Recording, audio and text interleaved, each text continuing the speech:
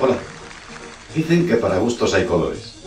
A mí el azul me parece un color bastante discreto. También el amarillo me parece un color bonito. Como también lo es este verde fosforito. Nada que objetar a un rosa fucsia. Pero necesitamos un protagonista en este juego que todavía no tenemos, que podría ser, ¿por qué no?, esta bella dama de rumbos. En este caso, como podéis ver, de color rosa fucsia. Y este es el efecto de colores espero que os haya gustado. Gracias.